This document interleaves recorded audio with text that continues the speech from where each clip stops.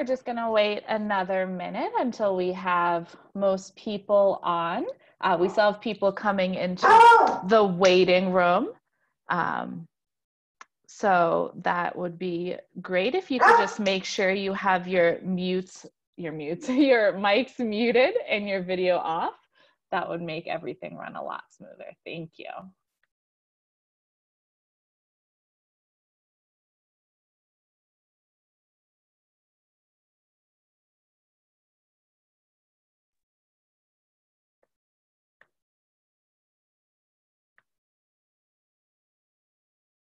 All right.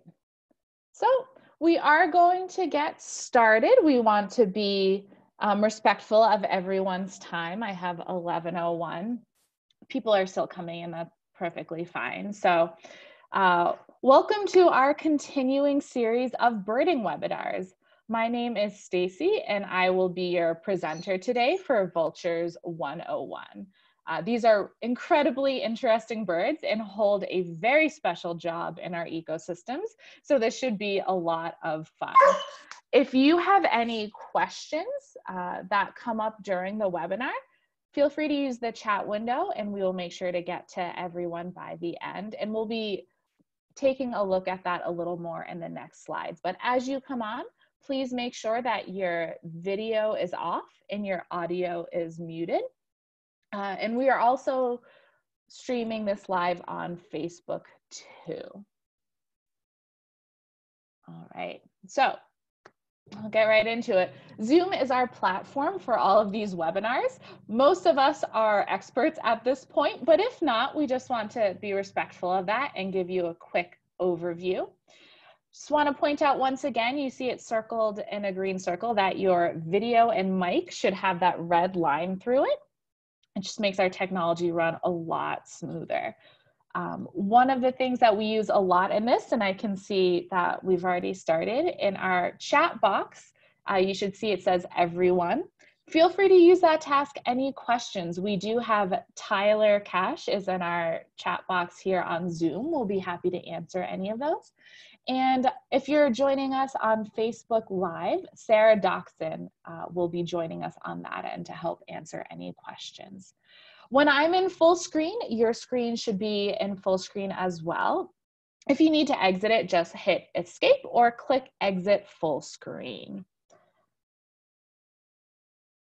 So uh, just want to introduce you to us. So my name is Stacy Monahan. I am the Camp and Family Programs Coordinator. And like I said earlier, joining us in the chat window is Tyler Cash. He is one of our amazing environmental educators. And today, my favorite vulture is the top picture. It is our classic turkey vulture. Uh, you'll learn a bit more as to why I love them so much. I had an opportunity to, to work with one many years ago. And the bottom picture is a California condor, and Tyler is a native of California. So that is his favorite vulture for the day. A little bit about our organization. So we are the Bird Conservancy of the Rockies. We are a nonprofit. Our headquarters is based in Brighton, Colorado. It's on the Barr Lake State Park property. And we also have an office up in Fort Collins, Colorado. So our mission is to conserve birds and their habitats through an integrated approach of our science, stewardship, and education teams. And I think that makes us really special because we have all three of these teams working closely together. Our science teams are the people who are out doing the research. Our research ranges up through Canada, across the Rockies, down into Mexico, they're publishing papers, they're figuring out what is going on with our birds. Then our stewardship team is the go between. So once we know what's happening with the birds and how we need to help them, they're the ones connecting to the landowners and the ranchers and making sure that not only that land is good for the cattle, but also for the birds and their habitat, which in turn makes it a healthier habitat for us as humans. And finally, our amazing education team. We like to think we are inspiring our next generation. We get to do all the great things like these webinars. Pre COVID, we were going into schools um, to do presentations, we had field trips, family events, homeschool programs, a variety of camp programs. So we love getting out there and connecting with everyone. And all of this is so that we can ensure a healthy and happy habitat, not only for birds, but for us as humans as well for uh, centuries to come. Okay, so now that you've gotten to know a little bit about us, we would love to get to know you. So in the chat box, if you could please type in where you are watching from, how many people are watching with you today, and what's your favorite bird? We would love to know those things. So I'll give you all about a, a minute or so to do that. Uh, this information just helps us to know who we're interacting with and a lot of our funding actually re relies on participation numbers.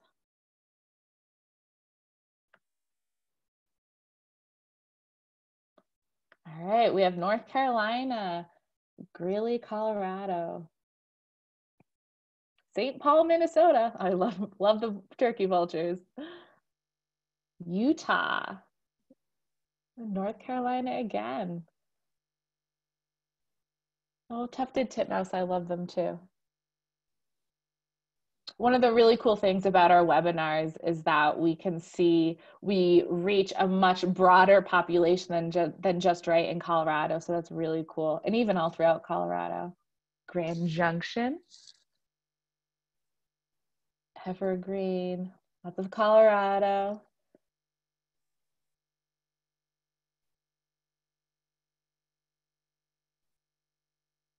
Beautiful, Georgia. That's awesome. So keep them coming in. We love to see everyone's favorite birds. Um, I know it's a big thing to ask for, especially for people who really like birds. So maybe just your favorite bird of the day. That's totally fine. Uh, New Jersey. Cool. So keep that coming in. Uh, we are excited to have everyone here with us today.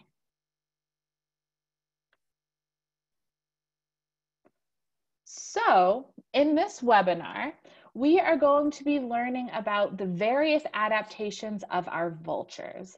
We will be able to identify a handful of the new world vultures, and we'll learn more about that in a minute. And we're going to learn why vultures are an important part of our ecosystems. So why birds? Um, why are we talking about vultures today? Well, one of the things is that we believe birds are inspirational.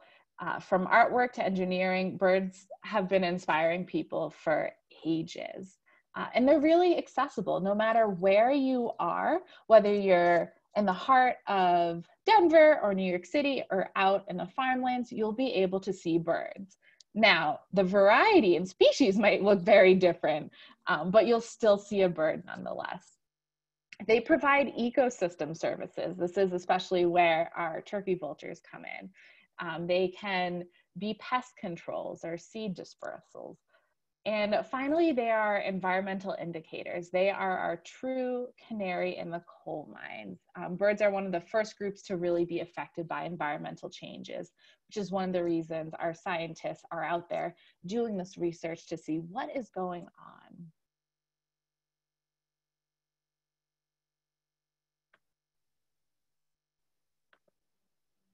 All right. So just to give you a general idea of how many birds we are working with. In the world, we have around 10,000 species. If we start focusing that into North America, we have about 1,000 species. Zone in closer to Colorado, we have 507. And then finally, even more zoomed in where we are based out of at Barr Lake State Park, we have 350 species. I would definitely say if you are in the area and it is safe for you to do so and you are able, head out to Barr Lake State Park at some point. They have beautiful nature trails. We have a lot of cool shorebirds coming in right now and a fabulous nature center for your littles or, or young ones. Okay, now we're going to jump right in. Vultures, uh, they're divided up into New World vultures versus Old World vultures. Uh, what's the difference? So our new world vultures are found in the Americas, so North and South America, and in the Caribbean, whereas our old world vultures are native to Europe, Africa, and Asia. So what's cool is that means between the two groups, vultures are found on every continent except Australia and Antarctica. Uh, we have 16 species of old world vultures, and they belong to the family Accipiter which includes our eagles and kites and our hawks. And old world vultures find the carcasses or carrion exclusively by sight, which is very different than our new world. Um, and we will be focusing on our new world vultures and condors um, today in this webinar. They tend to be found in warm and temperate areas of the Americas. And if you have heard about vultures being clumped in with raptors and that whole debate, it's it's very interesting within the scientific community and with ornithologists. So our New World vultures were thought not to be closely related to the Accipitridae, but they actually belong in the family Cathartidae, which was once considered to be related to storks. However, recent DNA evidence suggests that they should be included among the Accipitridae, along with other birds of prey. However, they're still not closely related to, to other vultures. Um, a lot of our vultures have a great sense of smell, which is unusual for raptors. So that's why you'll see depending on if you have a, a, newer version of a bird field guide versus an older you might see them put in different families and it has gone back and forth. So it's very interesting. Um, we have seven species in the new world vultures. They are our black vulture our turkey vulture our lesser yellow-headed vulture greater yellow-headed vulture california condor andean condor and the king vulture. So those are the ones we're gonna kind of hone in on today. And if you're wondering what these vultures are up in this picture, they are white rumped vultures that are found in India. So let's get right to it and start thinking uh, what are some amazing adaptations of our vultures? You can see I put a few different pictures of a couple different species up here. So what are some adaptations or characteristics that you think of? Um, and an adaptation is something that an animal or plant has either physical that they have on them or a behavior that helps them to survive. So what are some of those things that you can think of that make our vultures different from our other birds out there. Yep, strong sense of smell, no feathers on their head.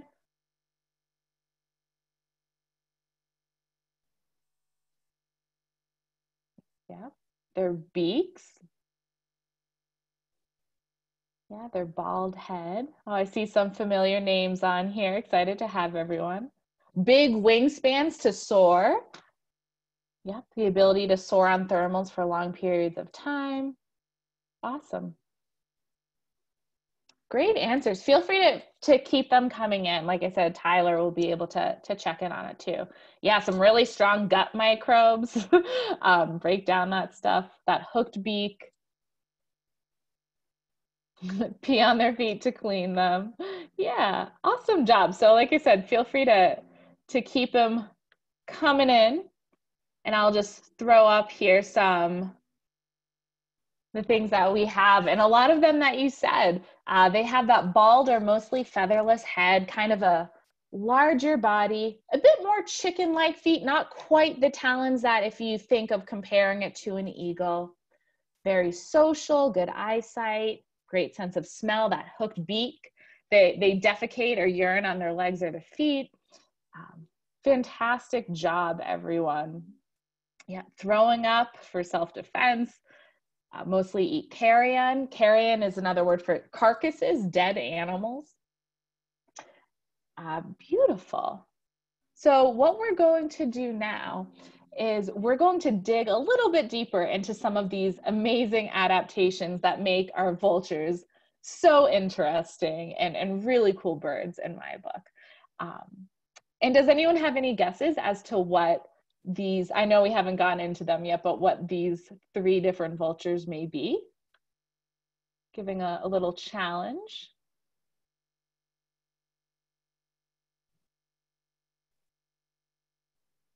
Yeah, black vulture on top for sure. Good job. So we have our black vulture is on the top. Our bottom left is a greater yellow-headed vulture. And the bottom right is our California condor. So we'll be, like I said, learning more about those in a little bit. Fantastic, everyone. So they're kind of like nature's trash disposals. They're their cleanup crew. So why do we need that? So a few different of their adaptations, their bald head, that hooked beak, and their really good smell and vision, they all help these vultures fit into their niche.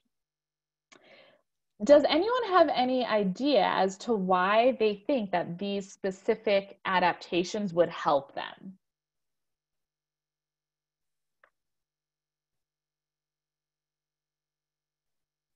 I don't have any guesses as to why you think they would have that bald head or that hooked beak or that great sense of smell. Yeah. Head doesn't get covered with gross stuff.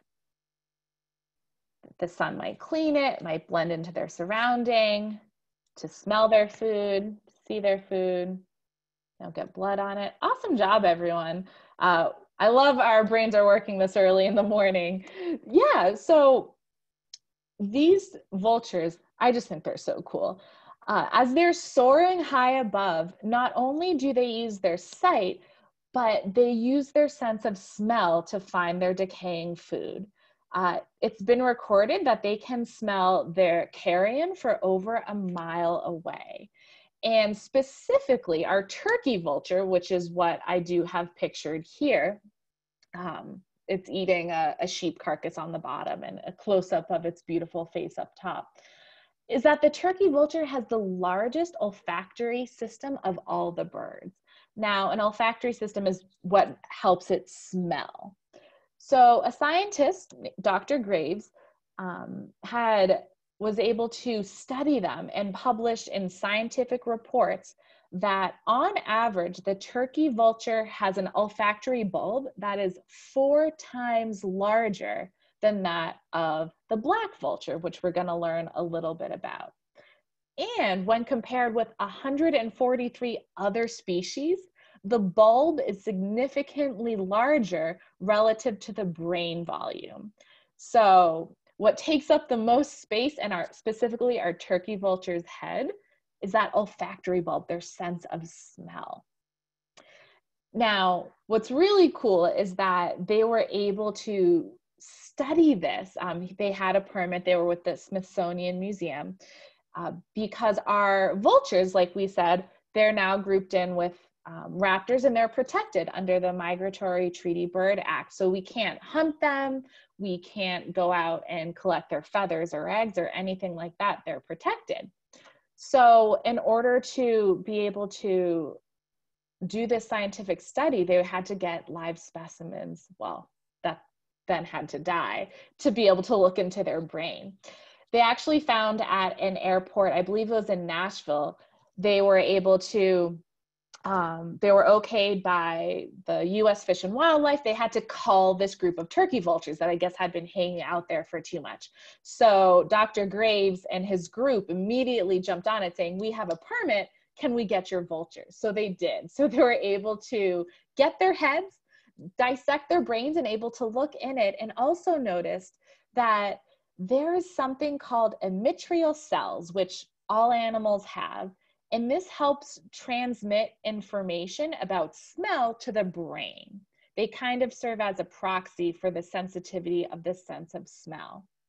And what they were able to study, because they were able to look at these turkey vulture brains under a microscope, which had not been done before, is that turkey vultures had twice as many as mitral cells as black vultures, despite having a brain that's a fifth smaller. Because remember, their olfactory bulb was so big, didn't leave a whole lot of space for the brain. Um, so that microscopic look was important because there had been no published data on the number of mitral cells in avian in avian olfactory bulbs had existed prior. So it was really cool that they were able to do this.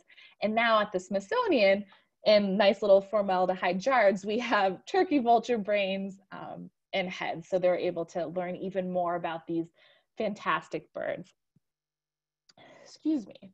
So that's part of their smell. They can find it. And once they find their, their meal, they have that bald head. If you think of them, they're neck deep, getting into all those crevices and organs. There might be rotting meat and blood, lots of bacteria. And like you all said, they don't have a whole lot of big feathers on their head, is so that the meat and all those things don't stick to it as much. And when they're able to sun themselves outside, it bakes off, it kills that bacteria. The meat, if something did get stuck, falls off a lot faster rather than getting it stuck in their fur. Um, really cool adaptation. So, if we did not have our turkey vultures, um, our vultures around, what do you think would be a consequence of that?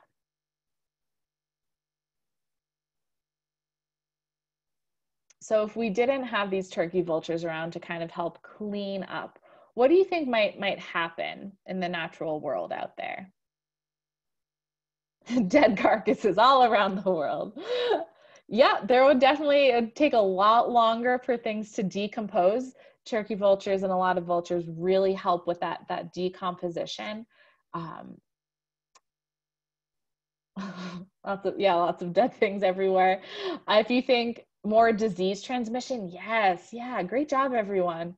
So, A, we would have a lot more of roadkill, of animals that have died, whether it's in the forest or prairie. Um, it would take a lot longer for them to decompose. And also that increase in diseases and potentially increase in, in pest animals, because if you take something out of the ecosystem, another animal will fill it. Um, and rotting meat, you know, is a great vector for, for diseases and such. So they're really cool birds, do a great job. Yeah, it can damage rivers and streams. Um, so these vultures really help us out. So like we said, they eat dead things. um, they usually find the dead animal within 12 to, to 24 hours.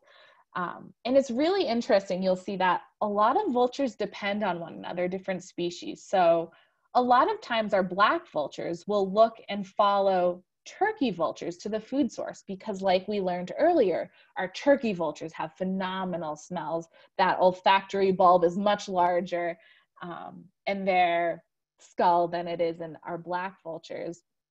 So they will follow the turkey vultures um, and they'll all be eating on the carcass but if you notice they'll kind of take one at a time they, they kind of have a little hierarchy there um, another thing is that sometimes some of our vultures because they actually have weak legs and feet you'll notice in the top picture that doesn't look like an eagle's talons or uh, red-tailed hawk talons. They're not as strong which is obviously a big characteristic if you're defined as a raptor.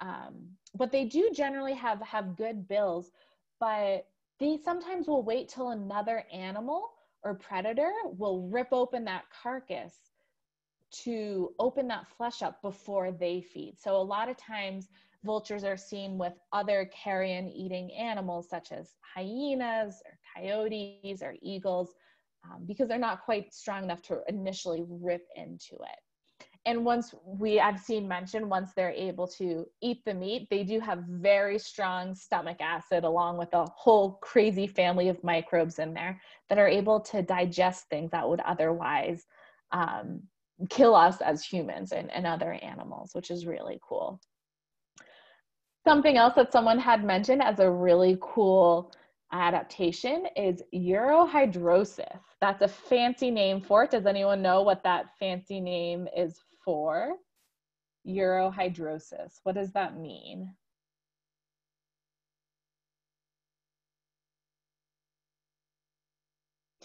Yeah. peeing on the feet. It is a fancy scientific word we gave for, yeah, urinating or defecating on, on themselves. Um, once again, might seem gross. It's actually really, really cool. Uh, the turkey vultures urinate down their legs. It's called urohidrosis. And it actually helps to cool off the vultures during hot weather. Not only that, the uric acid that's in there can also help kill off any bacteria or parasites that they've picked up from walking on um, or through the carcasses or perching on the dead animals. So it's that kind of like whitewash you see in that that top um, that top picture. Um, they some scientists also believe that the the bald head also helps with thermoregulation as well. Um, so cool things. I'm glad humans don't do that, but it's really cool that the vultures do. Another thing that I saw people mention prior as well when we were talking about adaptations is their ability to projectile vomit.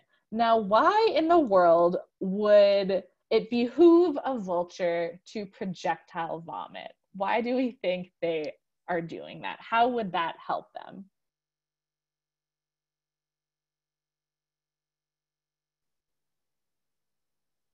maybe as part of safety. Yeah.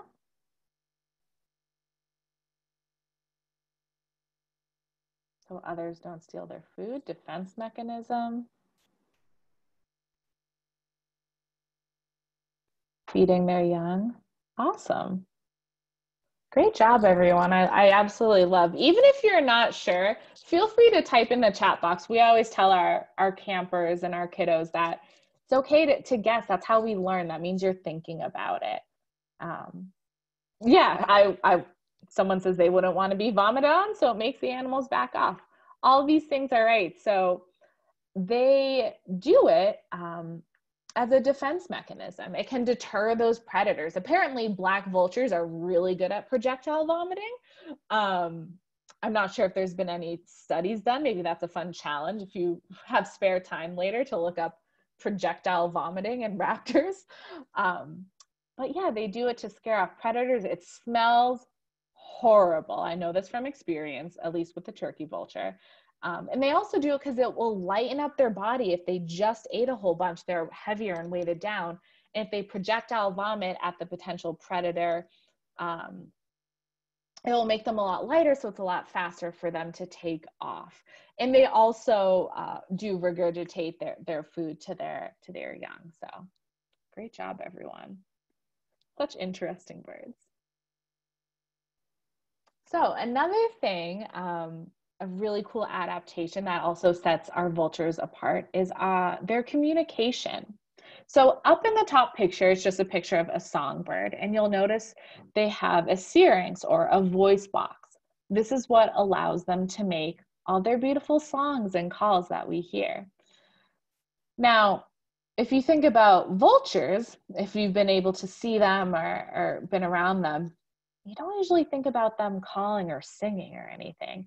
And that's because our New World vultures actually lack that syrinx or that voice box, and they're nearly silent. So their typical vocalizations are limited to, to grunts and hisses and bill clacks um, and other similar sounds that do not require those complex vocal cords. And because they're really social birds, um, one of the theories that scientists think is when they roost together, especially at night, uh, that they're using those grunts and clacks to actually communicate where the food might be.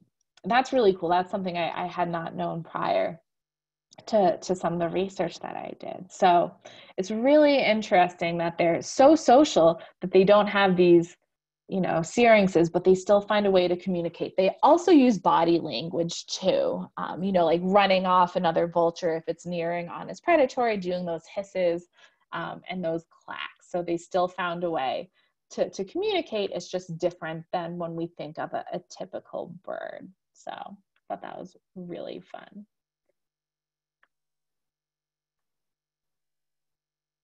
Nesting. So, something else that vultures do, and it does very much vary depending upon the species, are California condors will nest on um, cliff ledges. Uh, turkey vulture nest, it's actually, they're really hard to find. And turkey vultures and black vultures and a handful of other vultures actually lay their eggs right on the ground. They rarely build a nest. They might have it near some brush or some logs, um, maybe in a cavity somewhere in trees. And there are some vultures that even make that do make nests that are in a communal setting that are high up in trees. So it really varies. The top picture is a turkey vulture um, on their eggs laying flat down on the ground. And the bottom picture is, I think, a really cute picture. That is what our little turkey vultures look like when they hatch. And you can kind of gather as they grow older, they lose that down on their neck and kind of their blackish face does turn to that, that red color as they, as they mature. Uh, most vultures, like we had mentioned right at the end of the last slide, do regurgitate food to their young, unlike our raptors who rip up that meat and feed it to the young, our vultures already eat it and then regurgitate it back to them. Most vultures lay anywhere between one to three eggs, and the incubation can take 30 to, to 40 plus days. And generally, both parents help take care of the young in the nest. Once again, if you think of, of differences to some songbirds that are vultures, they're not sexually dimorphic, which means you can't just by looking looking at them easily tell the male from the female. It's the same thing with raptors. The females might be a little bit larger, but that's um, but that's not necessarily not necessarily true. And sometimes when they're in flight, uh, it might be hard to tell apart. So um, once again, really interesting birds. So now that we kind of have a general idea and general characteristics of, of vultures, and now that we know they're super cool, uh, we're going to take a look at a few of our New World vultures and learn their stories.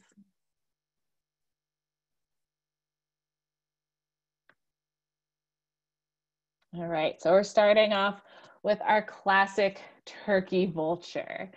Um, I just think, as you can tell, I think they're a really cool bird. They're definitely one of my favorites. Once again, something I, I learned new was that their Latin name, Cathartes aura, and once again, I apologize if I'm not saying this correctly for anyone who does a great job at speaking Latin. Uh, it actually means cleansing breeze cleansing breeze. So maybe it's because they have a really beautiful soar and you don't see them flap their wings too much, but I thought that was an interesting uh, translation. As you can tell, flying high up in the sky, if you most of us probably have seen some type of vulture, especially our turkey vulture. They have that classic kind of dihedral, that soaring V wobble. It's very teetering. They are a large dark bird with broad, long wings and we call them like fingers at the end of their wingtips. Um, and they have longer tails that extends past their toe tips in flight.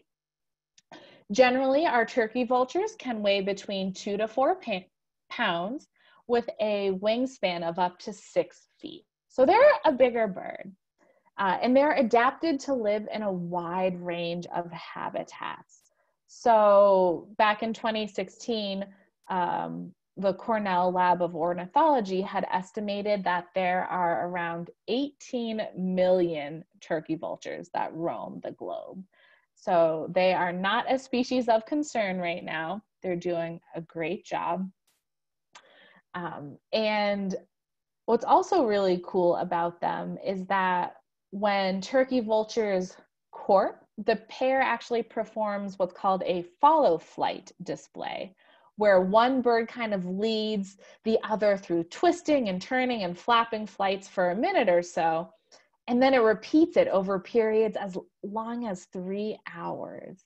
Um, so if you see turkey vultures that are just look kind of like they're doing wonky things, it's probably uh, they're courting each other because normally you see them catching those warm thermals, usually a little later in the morning. They're not very early risers. Most vultures aren't because they catch those warm thermals and rise up and, and soar, um, which is really cool. And does anyone know what a group of vultures is called? Because, like we said, they're very social, so you tend to see them um, in larger groups. Does anyone have an idea? There are a few different names. Anyone have an idea what a group of vultures is called? Yeah, committee. That's one of them. Great job. Anyone know the other two? I didn't know the other two. They're called a venue or a volt. Um, so committee, venue, or volt when they're all just together. In flight, we um, there's another term for them. Volt, V-O-L-T. I'm not quite sure why that name came up. Once again, it would be a cool challenge if you wanted to look more into it later and feel free to email us and, and let us know. Um, when they're flying up, they are called kettles. You also hear hawks if they're flying in a kettle. And this one is really cool. Does anyone know what vultures are called when they are feeding together at a carcass? There's a specific name for that. When a group of them are feeding on a carcass, what is the name? Anyone have any guesses? A buffet. That's a good one. I like that. It's not a buffet. It's a bit more slightly morbid. it is actually called a wake. So when they are feeding together at a carcass, it is called a wake. So they are, that's maybe how they're showing respect for that animal at their wake is they're taking care of its body. Really cool.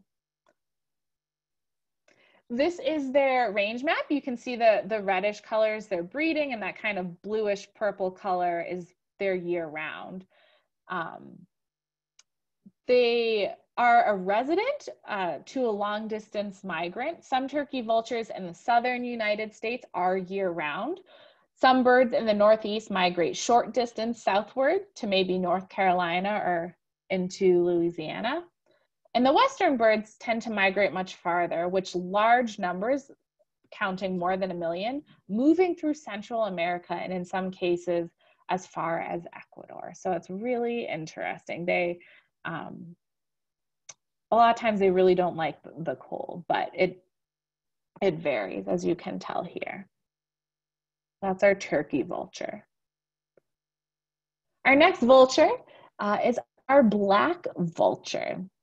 I think they're really beautiful. Um, they are, once again, a broader bird. In flight, they hold their wings flat and angled slightly forward, so it's not as distinctive as our turkey vulture flight.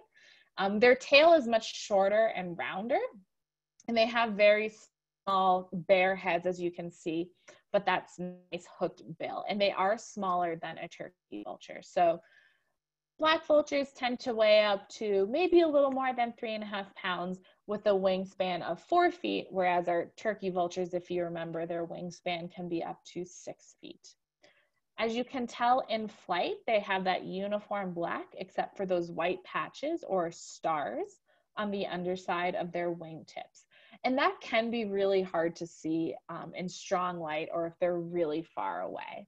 And then that skin of the head is black. So like we had mentioned before, um, our vultures, especially our black vultures, are very social animals. They, they have close families. And black vultures have actually been known to share food with their relatives and feed their young for months after they've fledged. So normally once a baby bird fledges, the parents are like, cool, see you later, good luck in life. Um, these black vultures for for whatever reason probably helping to keep them alive keeping their population numbers good tend to feed them a bit more um,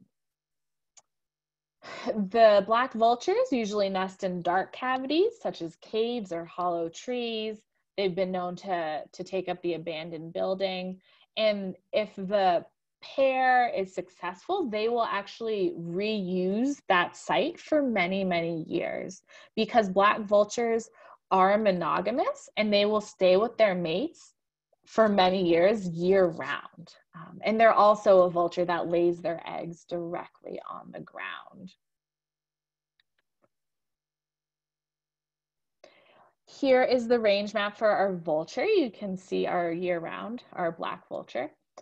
Uh, they are a resident to maybe a short distance migrant, uh, individuals that spend the summer in northern or higher altitude parts of the range tend to move southward or downslope for the winter. So you can see that uh, if you think back to our turkey vulture map, our turkey vultures are much more widespread, but they definitely overlap, um, especially along the, the lower east coast down that range, uh, which is really cool. Has anyone ever seen black vultures before? Been in an area where they're able to find a black vulture?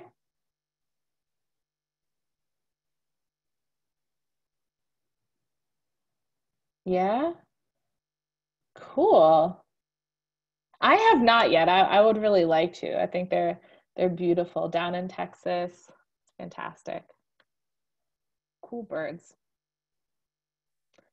All right. Now moving on to our greater and lesser yellow-headed vulture. Now I put both of them on the same slide for a reason, and that is because they were considered the same species. They were both considered greater yellowhead vultures up until they split in 1964. I personally feel like as a, if you're a scientist um, or ornithologist, someone that studies birds, my professor in college would say you're either a lumper or a splitter. So you either tend to lump things together, like, oh, generally the species has the, you know, similar, same DNA or behaviors or whatever it may be, or you're a splitter, we're like, no, no, no, this one is a little different. We're going to break it off. So clearly they were split. Um, they are both found in South America. Our greater is found in tropical moist lowland forests. It's also a fairly large bird with a wingspan up to five feet and can also reach a weight of around three pounds. Uh, the body is black and the head and neck, which are featherless, range in color from a deep yellow to a pale orange. The lesser is found a bit further. It's Mexico, Central America, and South America and they're in seasonally wet or very flooded lowland grasslands or swamps. It's also a large bird, can have a wingspan of five feet, and the body is a bit more brownish in color, um, not as glossy as the greaters. And the head and neck have that pale orange, and they tend to have a bit more red or blue in areas. What's really interesting as well is that both of these vultures rely on the king vulture, which is another new world vulture that lives down in South America, to rip into the hides first because the great and the lesser yellow-headed vultures don't have very strong beaks.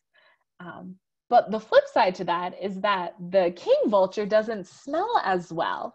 So the king vulture will follow the greater or lesser yellowheads to the kill, and then they will rip into it first, and then our greater and lesser yellowheads can come in. So once again, I find that really interesting how the different species of vultures tend to rely on one another when they're in similar or overlapping territory. Um, so the top picture is a greater yellow-headed vulture and the bottom is our lesser. So the larger one is the greater yellow-headed vulture and it tends to have a longer and broader tail and like i mentioned before their plumage is a bit darker and a lot more of that glossy black in contrast to the lesser yellow-headed vulture, which has more of that browner plumage you can kind of see in that bottom picture. Its legs are also darker in color and its head is more yellow and less of that orange and pink than that of the lesser yellow-headed vulture. And the greater has broader wings and has a steadier flight. They're kind of tongue twisters to, to talk about them. Um, has anyone ever traveled down in South America and seen the greater or lesser yellowheads?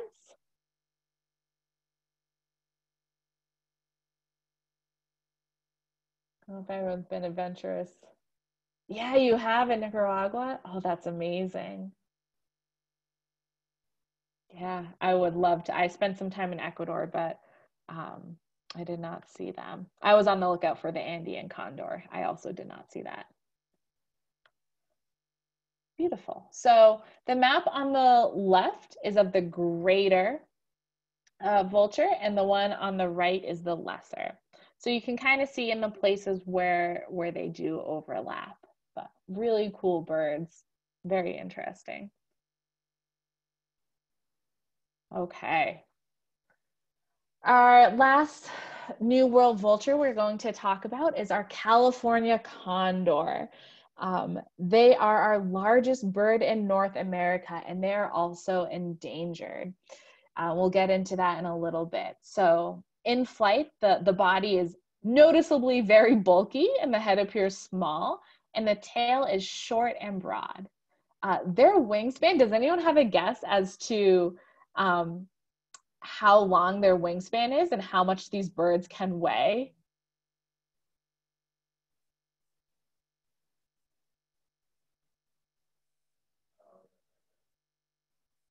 Yeah, great guesses, everyone.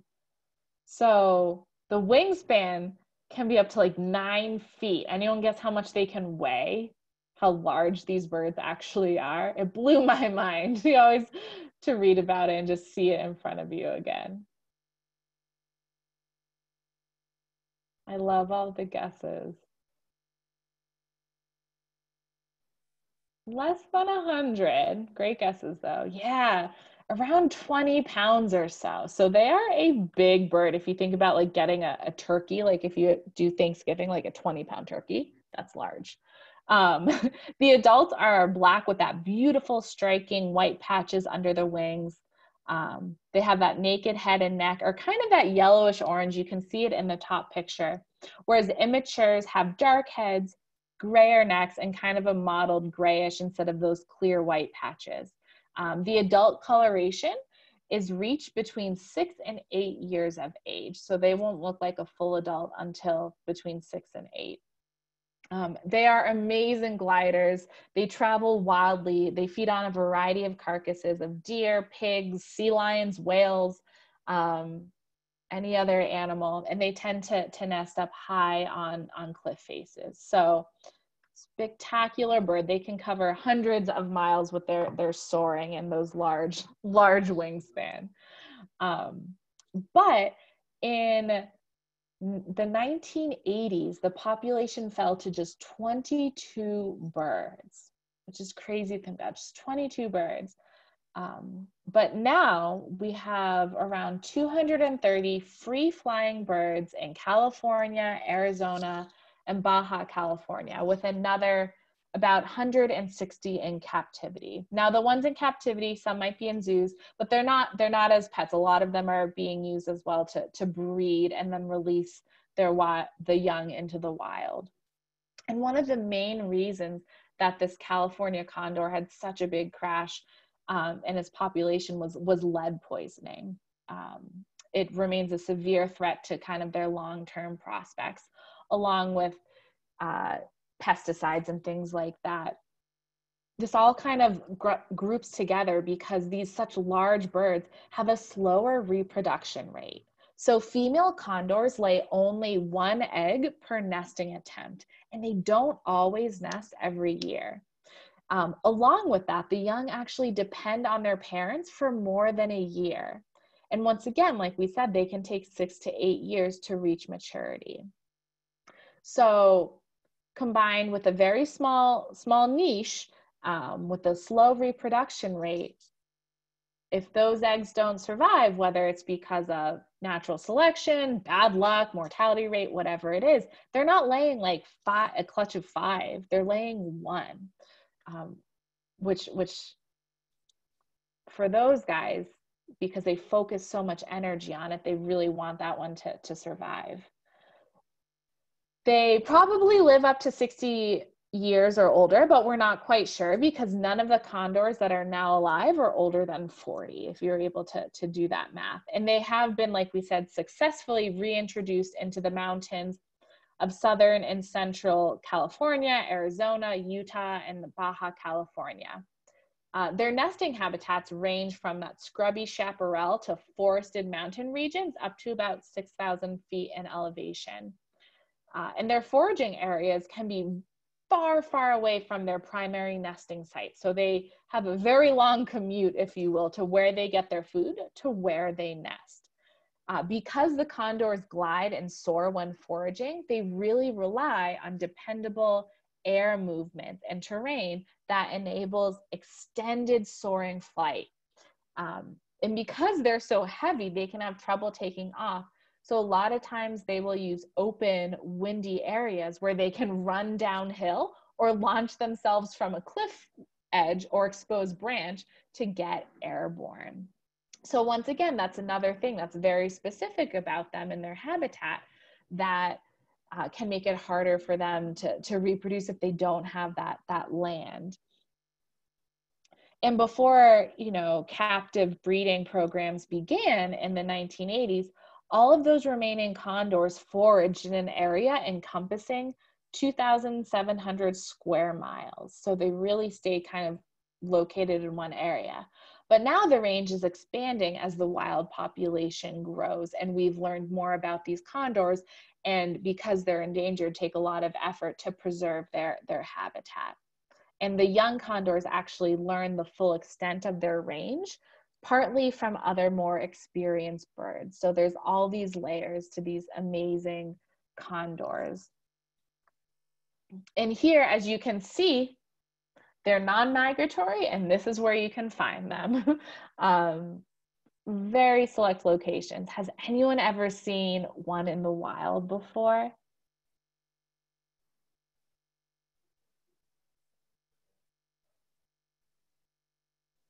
And yes, someone, sorry, I forgot to mention, someone said, is that a band um, or a tracker? So you could see, oh, we have seen someone see them. That's amazing. So I'm going to move back to my picture. Yeah, you can see that says number nine. So if you were able to see our bird banding webinar, if not, it's also on our, our YouTube.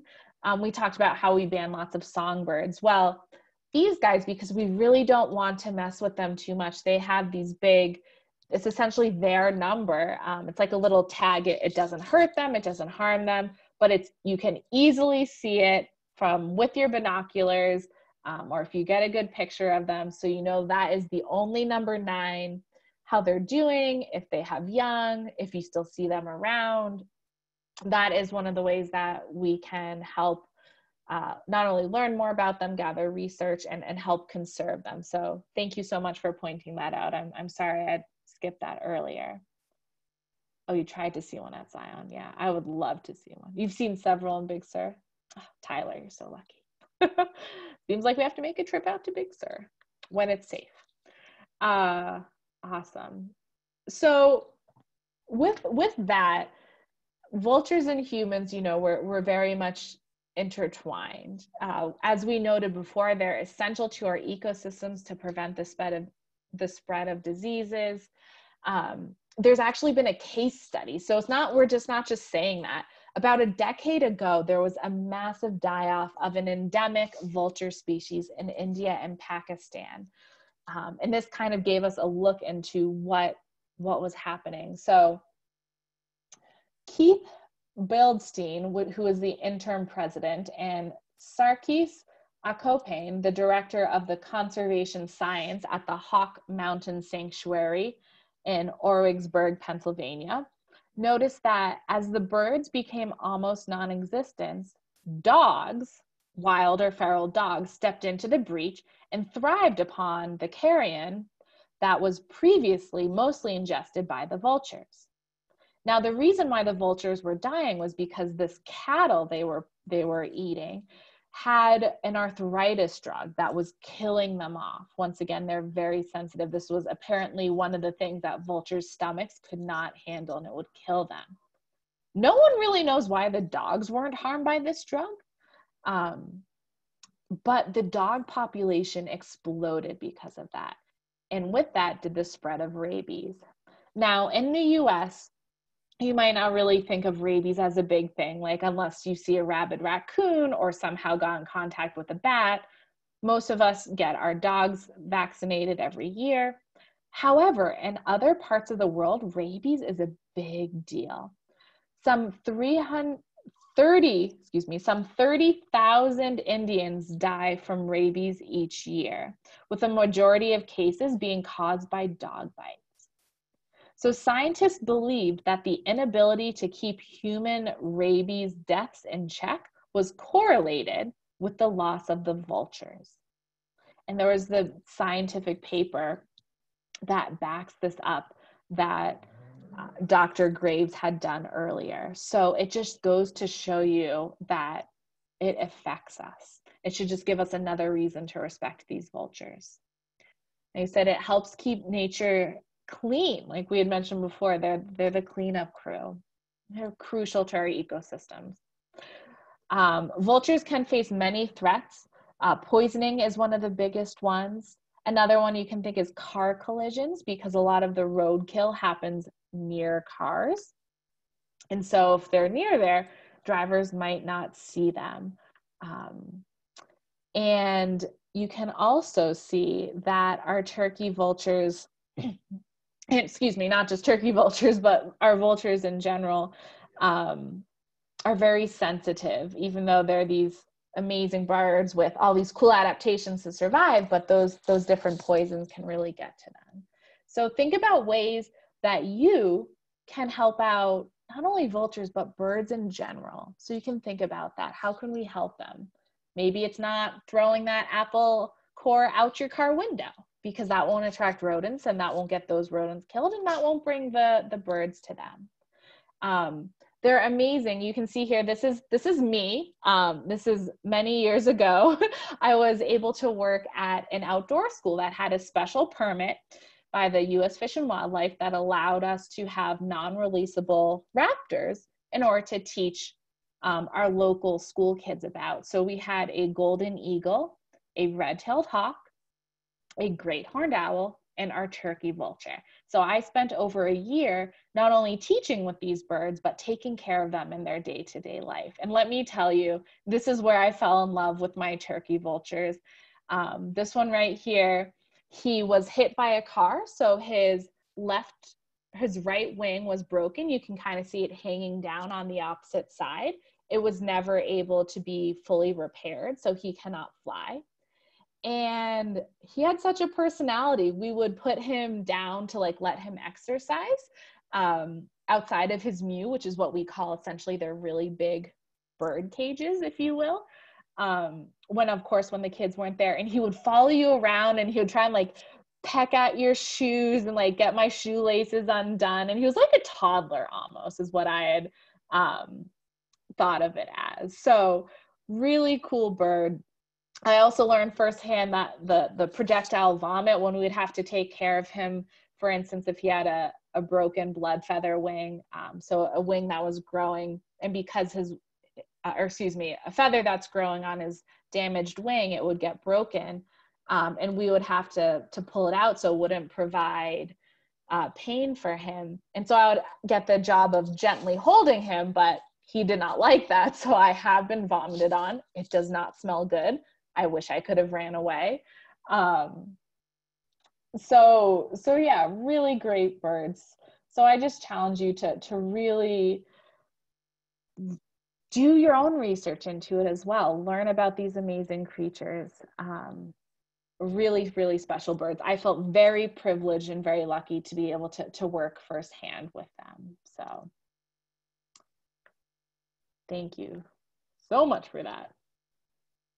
And finally, um, thank you. Uh, we want you to, to keep in touch. We are nearing just about our, our 12 o'clock, um, our hour limit. And once again, we want to be respectful of everyone. Sarah had mentioned this at our last webinar. Um, after this one, starting in August, for the next few months, we're just going to move to monthly webinars starting in August, just so we have time to focus on some other things. But um, once again, keep checking our Facebook page, our website. You can email us. We're still going to be here. We're going to focus a bit more on, on fall migration as well. Uh, if you've heard Meredith before, she'll be coming back to join us. Um, we'll also be sending you out an email with everything. It has a PDF, it has the link to our YouTube. It also has our survey. If you could take a few minutes and just put in the survey, we're always looking for new topics, ways to improve. Um, so once again, we will continue with these. It is just moving to a monthly webinar, but it'll still be on Thursdays at 11 o'clock um, just for the next few months. So uh, thank you all so, so much uh, for joining us. We really appreciate it. Um, I saw some of you are, are making donations. I cannot tell you how insanely grateful I am for that so we can keep doing what we love and, and educating and learning together. Um, and like I said, monthly webinars and then for the next couple months, and then we'll pick back up again. Um, so thank you everyone. Have a wonderful and safe weekend. I hope you all can get out and maybe see some turkey vultures on these warmer days and think how cool they are and go on um, to tell all of your friends and families about them. So thank you again and we'll see you around.